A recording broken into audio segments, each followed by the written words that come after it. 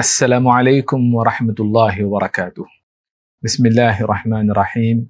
الحمد لله رب العالمين وصلى الله وسلم وبارك على نبينا محمد وعلى آله وصحبه أجمعين ومن تبعهم بإحسان إلى يوم الدين أما بعد. معزز ناظرین اللہ کے فضل اور اس کی توفیق سے ہم نے گزشتہ نشستوں میں حجیت حدیث کے حوالے سے بہت ساری باتیں جانی پھر اس کے بعد حدیث کی کتابوں کی جو اصطلاحات ہیں، صحیح، جامع، سنن، مسند موقع مستخرج، مستدرک، عوالی، فوائد وغیرہ، ان جیسی اصطلاحوں کے معنی ہم نے سمجھے۔ پھر اس کے بعد اللہ کے فضل و کرم سے ہم نے صحیحین، صحیح بخاری اور صحیح مسلم کا تفصیلی تعارف جانا۔ اس کے بعد ہمارے لیے مناسب ہے کہ سنن میں جو سب سے اعلیٰ درجے کی سنن ہے یعنی حدیث کی کتابوں میں، کتب احادیث یا کتب السنہ میں، صحیحین کے بعد جس کا سب سے اونچا مقام و مرتبہ ہے یعنی سنن ابی داود کے بارے میں ہم معلومات حاصل کریں۔ امام ابو داود رحمۃ اللہ علیہ، جن کا نام سلیمان ابن اشعث الازدی السجستانی ہے۔ سجزی یا سجستانی دونوں ایک ہی جگہ کی طرف نسبت ہے۔ اس امام نے حدیث کی ایک کتاب لکھی اور اس کتاب کا نام السنن رکھا۔ چونکہ صحیح بخاری ہو یا صحیح مسلم ہو یا کچھ اور کتابیں ہیں، جن کے مؤلفین نے خاص طور پر اہتمام کے ساتھ نام ذکر نہیں کیا، اسی لیے ان کتابوں کے نام جاننے میں یا نام بتانے میں اہل علم کے درمیان اختلاف پایا گیا۔ لیکن امام ابو داود رحمۃ اللہ علیہ نے ایک رسالہ لکھا تھا اہل مکہ کے نام، ایک پیغام روانہ کیا تھا۔ سنن ابی داود کیسی کتاب ہے؟ کیا صفات ہیں؟ کیا خصوصیات ہیں؟ تعارفی ایک مراسلہ اہل مکہ کی جانب روانہ کیا تو اس میں امام ابو داود رحمۃ اللہ علیہ نے خاص طور پر اپنی اس کتاب کو السنن سے یاد کیا۔ ہم نے یہ بات جانی کہ السنن کسے کہتے ہیں؟ یعنی جیسے حدیث کی یہ کتابوں کے نام ہیں۔ سنن ابی داود ہے، سنن ترمیزی ہے، سنن نسائی ہے، سنن بیحقی ہے، سنن دارقطنی ہے، سنن سعید ابن منصور ہے وغیرہ۔ تو جتنی بھی حدیث کی کتابیں سنن سے شروع ہوتی ہیں، ان کا مفہوم یہ ہوتا ہے کہ اس میں جامعیت نہیں پائی جاتی یعنی سارے مضامین کا احاطہ نہیں پایا جاتا، ادراک نہیں ہوتا اور نہ ہی اس میں صحیح، حسن یا ضعیف، ان جیسی روایتوں کی درجہ بندی پائی جاتی ہے۔ بلکہ ان کتابوں میں جو کتابیں سنن کہلاتی ہیں، ان کتابوں میں دو باتوں کا خیال رکھا جاتا ہے۔ ایک یہ کہ وہ احادیث فقہی احکام پر مشتمل ہو، جیسے کتاب الطہارہ، کتاب الصلاح، کتاب السیام کتاب الزکاہ کتاب الحج وغیرہ۔ فقہی احکام پر مشتمل ہو اور فقہی ترتیب پر وہ کتاب ترتیب دی جائے، اسے سنن کہتے ہیں۔ دوسری بات یہ ہے کہ ان میں عام طور پر مرفوع روایات پائی جاتی ہیں۔ یعنی وہ روایات جو نبی صلی اللہ علیہ وسلم کے اقوال و افعال پر یا پھر مشاہدات پر اتفاق کرنے پر مشتمل ہو۔ تو امام ابو داود رحمۃ اللہ علیہ نے اپنی حدیث کی کتاب کا نام اس رسالے میں جو رسالہ اہل مکہ کے نام لکھا، اپنی حدیث کی کتاب کا نام السنن بیان فرمایا۔ امام ابو داود رحمۃ اللہ علیہ نے عمر کے ابتدائی مرحلے میں یعنی طالب علمی سے یا طلب علم سے فارغ ہونے کے بعد عمر کے ابتدائی مرحلے میں اس کتاب کو لکھنے کا کام شروع کیا اور اس کتاب سے فارغ ہوئے۔ اسی لیے اس کتاب کو پڑھنے، پڑھانے میں، مراجعہ کرنے میں، نظر ثانی کرنے میں تقریباً بیس سال امام ابو داود رحمۃ اللہ علیہ نے گزارے ہیں۔ امام ابو داود رحمۃ اللہ علیہ نے حدیث کی اس کتاب میں فقہی احکام کی روایات کو پیش کیا۔ یہ اس کتاب کا بنیادی اور اساسی مقصد ہے۔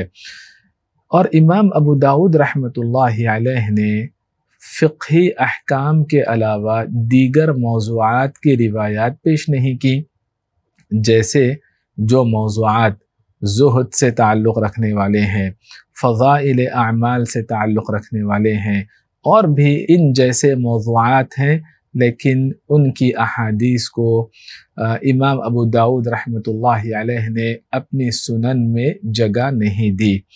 چونکہ مقصد فقہی احکام کی روایات کو، احادیث کو جمع کرنا تھا، چنانچہ امام ابو داود نے دیگر موضوعات کو اپنی اس کتاب میں جگہ نہیں دی۔ امام ابو داود رحمۃ اللہ علیہ نے جب سنن ابی داود ترتیب دی تو اس وقت حالات پر امن نہیں تھے۔ جنگ کا ماحول تھا، لیکن اس کے باوجود طلب علم یا صاحب علم کیسا علم کا دھنی ہوتا ہے یا دھن کا پکا ہوتا ہے، کیسے اس میں لگن پائی جاتی ہے، حالات ناساز ہونے کے باوجود، حالات نامساعد ہونے کے باوجود، حالات پر امن نہ رہنے کے باوجود ایسے سنگین حالات میں، ایسی نازک گھڑی میں امام ابو داود رحمۃ اللہ علیہ نے اللہ کی توفیق سے شاندار کتاب لکھی، جو سنن کے درجے میں سب سے اعلیٰ درجے کی اول درجے کی کتاب ہے۔ تقریباً بیس سال امام ابو داود رحمۃ اللہ علیہ نے گزارے اس کتاب کو لکھنے کے لیے اور اس کتاب میں اللہ کے فضل اور اس کی توفیق سے تقریباً چار ہزار احادیث جمع کی اور کچھ محدثین نے تقریباً پانچ ہزار احادیث کا تذکرہ کیا۔ احادیث کی تعداد جو بھی ہو، امام ابو داود رحمۃ اللہ علیہ نے حدیث کی ایک بہت بڑی تعداد سے یعنی خمس مئتی الف حدیث پانچ لاکھ احادیث سے ان احادیث کو منتخب کیا، جو امام ابو داود رحمۃ اللہ علیہ کی کتاب السنن کے شایان شان اور موضوع سے میل کھانے والی تھیں امام ابو داود رحمۃ اللہ علیہ کی اس کتاب کو اہل علم نے بڑی اہمیت دی۔ مثال کے طور پر امام نووی رحمۃ اللہ علیہ نے فرمایا کہ سنن ابی داود کا موضوع فقہی احکام کی روایات کو پیش کرنا تھا، جیسے امام بخاری رحمۃ اللہ علیہ یا امام مسلم رحمۃ اللہ علیہ، کسی امام نے دعویٰ نہیں کیا کہ ہم نے ساری صحیح روایات کو اپنی کتاب میں جگہ دی ہے۔ تو بالکل اسی طرح امام ابو داود رحمۃ اللہ علیہ نے بھی دعویٰ نہیں کیا کہ احکام سے متعلق جتنی روایات پائی جاتی ہیں، ان روایات کو میں نے اپنی کتاب میں جگہ دی۔ لیکن جتنی روایات کتاب میں موجود ہیں، وہ فقہی احکام سے متعلق ہیں۔ تو امام نووی رحمۃ اللہ علیہ اس پس منظر میں رشاد فرماتے ہیں کہ امام ابو داود نے اپنی سنن میں احکام کی ساری یا اکثر روایات کو جگہ نہیں دی، بہت ساری روایتیں۔ حکمی احادیث یعنی احکام سے تعلق رکھنے والی احادیث بہت ساری صحیح مسلم اور صحیح بخاری میں موجود ہیں جو سنن ابی داود میں نہیں پائی جاتی ہیں۔ لیکن اس کے باوجود فرمایا کہ اگر امام ابو داود رحمۃ اللہ علیہ کی اس کتاب کا دیگر ائمہ کی سنن کے ساتھ یعنی فقہی احکام والی حدیث کی کتابوں کے ساتھ مقارنہ کیا جائے اور موازنہ کیا جائے۔ تو امام ابو داود کی سنن کا پڑھلا بھاری ہو جائے گا۔ امام ابو داود رحمۃ اللہ علیہ سر فہرست رہیں گے، جنہوں نے احکام کی روایات کو بکثرت ذکر کیا ہے۔ سنن ابی داود میں امام ابو داود رحمۃ اللہ علیہ نے مرفوع روایات کے ساتھ ساتھ صحابہ کرام کے کچھ اجتہادات کو بھی ذکر کیا اور صحابہ کرام نے جن فتووں کو اور جن فیصلوں کو پسند کیا، ان کا بھی امام ابو داود رحمۃ اللہ علیہ نے تذکرہ فرمایا۔ امام ابو داود رحمۃ اللہ علیہ نے جو رسالہ اہل مکہ کے نام لکھا، اپنی کتاب سنن کا تعارف کراتے ہوئے، اس رسالے کے پیش نظر اہل علم نے کچھ نکات بطور خاص پیش کیے ہیں۔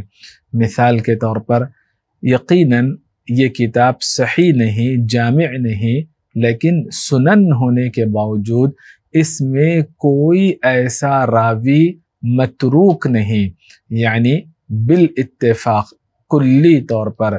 اجماع اگر کسی راوی کے بارے میں ہو کہ وہ راوی متروک ہے، محدثین نے اسے چھوڑ دیا نظر انداز کر دیا اس کی روایات سے استدلال نہیں کیا تو ایسے راوی کو امام ابو داود رحمۃ اللہ علیہ نے اپنی سنن میں جگہ نہیں دی، نہ ہی اصول میں، جو اہم ترین روایات ہیں، احادیث ہیں، موضوع کا لب لباب ہے، حاصل ہے، خلاصہ ہے، اس میں بھی جگہ نہیں دی اور اس کی جو موافق روایات ہوتی ہیں، ہم معنی روایات ہوتی ہیں تائیدی روایات ہوتی ہیں صحابی کے فرق سے یا صحابی کے اتحاد کے ساتھ جنہیں مطابعات اور شواہد کہا جاتا ہے، ان میں بھی اس درجے ضعیف راوی کو جگہ نہیں دی، جو بالاتفاق تمام محدثین کے یہاں متروک شمار کیا جاتا ہے۔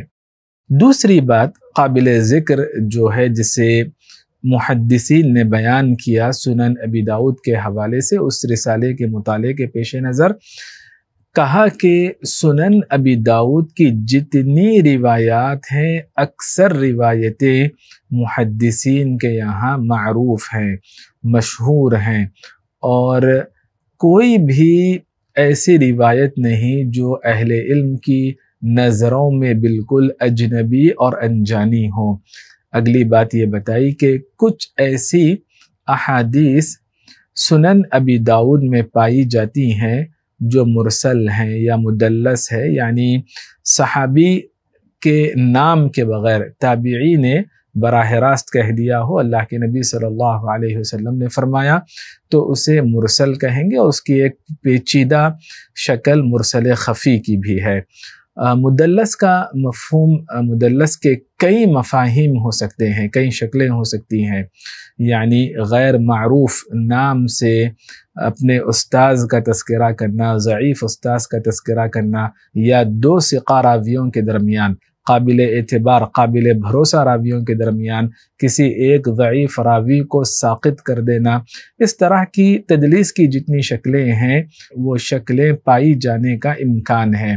لیکن امام ابو داود رحمۃ اللہ علیہ نے اگر کوئی سند ذکر کی جو متصل نہیں بلکہ منقطع ہے یا معلق ہے یا پھر مرسل ہے یا مدلس ہے یعنی محدثین کے یہاں ضعیف روایات کی قبیل سے ہے، تو اس کی وجہ کیا ہے؟ بتایا کہ محدثین کے یہاں اس موضوع میں اگر صحیح روایت نہیں ملی اور کوئی دوسری معتبر روایت موجود نہیں جو اس سے ٹکراتی ہو۔ پہلی بات یہ ہے کہ اس موضوع میں ثابت روایت نہیں پائی جاتی ہے۔ دوسری بات یہ ہے کہ اس روایت کی بنسبت اس سے بہتر کوئی دوسری روایت نہیں پائی جاتی جو اس کے مخالف ہو۔ ان دو امور کے پیش نظر امام ابو داود رحمۃ اللہ علیہ، امام احمد بن حنبل رحمۃ اللہ علیہ کی طرح ان احادیث کو ترجیح دیتے ہیں جن میں کچھ ضعف پایا جاتا ہے، کچھ کمزوری پائی جاتی ہے، جو ضعف محدثین کے یہاں منجبر ہے یعنی قابل برداشت ہے۔ دیگر مطابعات اور شواہد کے پیش نظر اس کو قوت مل سکتی ہے۔ اگلی بات یہ بیان کی گئی کہ کوئی بھی ایسی روایت سنن ابی داود میں نہیں پائی جاتی جو انتہائی سنگین درجے کی ضعیف ہو اور مزید کہا امام ابو داود رحمۃ اللہ علیہ نے کہ اگر کسی روایت پر حکم نہ لگایا ہو، تبصرہ نہ کیا ہو، خاموشی اختیار کی ہو، روایت پیش کی، ذکر کی اور خاموشی اختیار کی، تو فرمایا کہ وہ روایت مناسب ہے، صالح ہے یعنی قابل اعتبار ہے یا قابل احتجاج ہے اہل علم کے یہاں دو طرح کے موقف پائے جاتے ہیں۔ بعض اہل علم نے کہا، جیسے ابو عمر ابن عبد البر رحمۃ اللہ علیہ نے فرمایا کہ ابو داود رحمۃ اللہ علیہ جب کبھی کسی روایت کے بارے میں خاموشی اختیار کرتے ہیں، فہو صحیح عندہ تو وہ روایت ان کے یہاں معتبر ہے، صحیح درجے کی روایت ہے۔ قرآن کے بعد صحیح ترین کتابوں میں ہم نے صحیح بخاری اور صحیح مسلم کا نام جانا۔ ان کے بعد جو کتابیں سنن کے درجے کی ہیں، سنن کے موضوع کی ہے یعنی فقہی احکام کی روایات کو، احادیث کو پیش کرنے والی کتابیں ہیں، ان میں سب سے اعلیٰ درجے پر، سر فہرست پہلے نمبر پر امام ابو داود کی سنن ابی داود کا نام آتا ہے۔ اس کی وجہ یہ ہے کہ امام ابو داود رحمۃ اللہ علیہ نے بارہا اس کتاب کا مطالعہ کیا لکھنے کے بعد۔ بارہا نظر ثانی کی، بارہا حذف و اضافہ کیا، بارہا تعدیل اور ترمی کی اور خود بھی مطالعہ کیا اور اپنے طلباء سے بھی اس کتاب کو سنا۔ امام ابو داود رحمۃ اللہ علیہ کے ایک شاگرد ہیں جن کا نام ابو علی اللؤلؤی ہے۔ انہوں نے کہا کہ میں نے امام ابو داود رحمۃ اللہ علیہ کو یہ کتاب بیس سال تک سنائی ہے۔ یعنی سلسلہ وار لگاتار اس کا مطالعہ، اس کا مراجعہ جاری تھا۔ امام ابو داود رحمۃ اللہ علیہ کے ہم عصر ساتھی ائمہ کہتے ہیں یعنی کسی دور کے عالم کی، اس دور کا عالم اور محدث تعریف کرے، یہ بڑی بات ہے۔ فرماتے ہیں امام زکریہ الساجی رحمۃ اللہ علیہ کہا کہ کتاب اللہ اصل الاسلام، قرآن جو اللہ کا کلام ہے، اللہ کی کتاب ہے اسلام کی تعلیمات کا نچوڑ ہے، اسلام کی تعلیمات ہے، بنیادی تعلیمات ہے، اسلام کی جڑ ہے۔ قرآن، کتاب اللہ اصل الاسلام و کتاب ابی داود عہد الاسلام، جبکہ امام ابو داود رحمۃ اللہ علیہ کی یہ کتاب یعنی سنن ابی داود اسلام کا عہد ہے یعنی ایک روشن دور ہے یا پھر عہد و پیمان ہے جن کا طلباء اور علماء کو خیال رکھنا چاہیے۔ امام خطابی رحمۃ اللہ علیہ اس کتاب سنن ابی داود کے حوالے سے فرماتے ہیں کتاب شریف، انتہائی شرف اور مقام و مرتبے کی حامل یہ کتاب ہے۔ لم يصنف فی علم الدین کتاب مثلہ، یہ بے نظیر کتاب ہے۔ علوم دینیہ، دینی علم کے حوالے سے اس جیسی کوئی اور کتاب نہیں لکھی گئی۔ امام خطابی رحمۃ اللہ علیہ کے اس قول کے بعد دوسرا قول امام خطابی رحمۃ اللہ علیہ کا ہمیں ملتا ہے۔ انہوں نے فرمایا کہ یقیناً صحیح بخاری کا مقام و مرتبہ بہت بلند ہے اور امتیازی بہت ساری خصوصیات حاصل ہیں۔ صحت کے اعتبار سے، صحیح ہونے کے اعتبار سے، ملاقات کے اعتبار سے، سماع حدیث کو سننے کے اعتبار سے، شاگرد اور استاذ کے درمیان طول ملازمت، ساتھ طویل رہنے کے اعتبار سے۔ کئی اعتبارات سے انہیں ممتاز مقام و مرتبہ حاصل ہے، لیکن کہا کہ صحیح بخاری اور صحیح مسلم کے بالمقابل سنن ابی داود، احسن و و اکثر و فقہن یعنی ترتیب کے اعتبار سے، تنسیخ کے اعتبار سے، تنظیم کے اعتبار سے، پیش کرنے کے اعتبار سے، اور پھر فقہی ناحیے کے اعتبار سے، یہ ان تمام اعتبارات سے اس امام کی نظر میں اس کتاب کو صحیح بخاری اور صحیح مسلم پر اس ناحیے سے فوقیت حاصل ہے۔ امام محمد ابن مخلد رحمۃ اللہ علیہ نے فرمایا، لما صنف ابو داود السنن وقرأه على الناس، جب امام ابو داود رحمۃ اللہ علیہ نے سنن لکھی اور لوگوں کو پڑھ کر سنایا سارا کتابه لأهل الحدیث كالمصحف يتبعونه امام ابو داود کی یہ کتاب محدثین کے لیے علم حدیث کے طلباء کے لیے مصحف کی طرح ہو گئی، جیسے کوئی مصحف کی پیروی کرتا ہے، بالکل علم حدیث کے طلباء اور محدثین اس کتاب کے ساتھ ویسے ہی دلی لگاؤ رکھنے لگے۔ امام مزی رحمۃ اللہ علیہ نے تہذیب الکمال کے مقدمے میں کہا کہ انتہائی عمدہ یہ تصنیف ہے۔ اور بے انتہا آسان کتاب ہے اور عمدگی کی بلندی اس کے اندر پائی جاتی ہے اور درست پہلو غالب ہے، غلطیاں اس میں کم پائی جاتی ہیں اور فائدے حدیث کے اعتبار سے صنعت کے اعتبار سے، متن کے اعتبار سے فائدے بہت زیادہ ہیں، اتنے زیادہ ہیں کہ جو امام ابو داود رحمۃ اللہ علیہ کا موافق ہو یا مخالف ہو معید ہو یا پھر کوئی اور رویہ رکھنے والا ہو، عوام ہو یا خواص ہو، سب کے سب سن نبی داود کو قبول کرنے پر مجبور ہو گئے۔ امام ابو داود رحمۃ اللہ علیہ کی اس کتاب کو امام ترمیزی رحمۃ اللہ علیہ کی کتاب اور دیگر ائمہ کی کتابوں پر سنن جتنی کتابیں ہیں، ان کے درمیان سنن ابی داود کو امام مزی رحمۃ اللہ علیہ نے بڑی فوقیت دی۔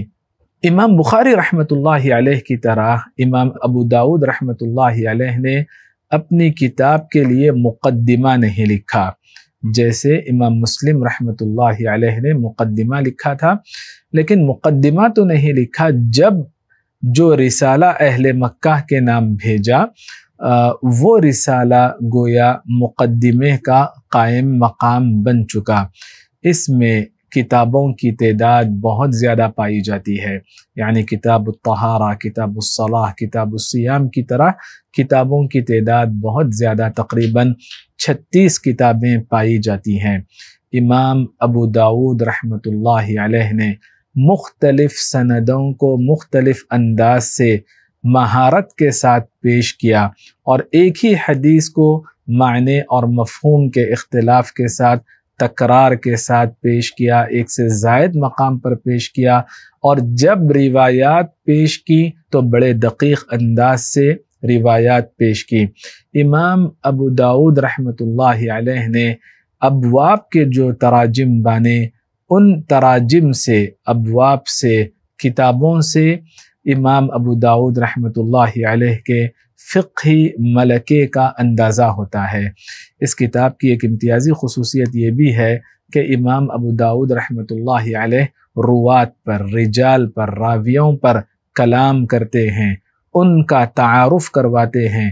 اگر وہ مجروح ہو تو ان پر جرح ذکر کرتے ہیں، اگر وہ ثقہ ہو تو ان کی توثیق اور تعدیل بیان کرتے ہیں۔ اور کبھی مستقل طور پر اپنی جانب سے اور کبھی دیگر اہل علم کی جانب سے ذکر کرتے ہیں۔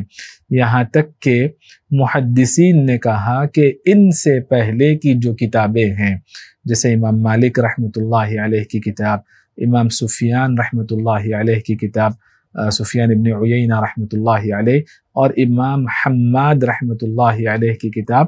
ان جیسے محدثین کی کتابیں ان کی کتاب سے پہلے موجود تھیں، لیکن امام ابو داود کی یہ کتاب یعنی سنن ابی داود کا سابقہ کتابیں مقابلہ نہیں کر سکتی ہیں۔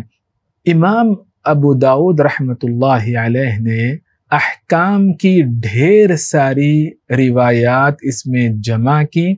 اگر ان روایات کا دیگر کتابوں سے تقابل کیا جائے تو جم غفیر یعنی ان روایات کا ایک بہت بڑا حصہ یہیں پر نظر آئے گا، سنن نبی داود میں ملے گا۔ اکثر احادیث یعنی تقریباً آدھی روایات ایسی ہیں جو صحیح بخاری یا صحیح مسلم میں پائی جاتی ہیں اور آدھی روایات کے علاوہ حدیث کی ون تھرڈ ایک سلس ایسی روایات ہیں جو صحیح کے درجے میں پائی جاتی ہیں۔ امام ابو داود رحمۃ اللہ علیہ نے کبھی ناسخ اور منسوخ کو بھی بیان کیا ہے، لیکن زیادہ اہمیت جو دی وہ احکام کی روایات کو دی اور فقہی اصطلاحیں بھی بیان فرمائی، مناسبت بیان فرمائی، علماء نے شرحیں لکھیں، اس کی تخریج بھی لکھی اور اختصار بھی کیا یعنی اسانید کے بغیر متون کو پیش کیا اور اس کی تہذیب کرنے کی کوشش کی، جیسا کہ امام ابن قیم رحمۃ اللہ علیہ نے یہ کارنامہ انجام دیا۔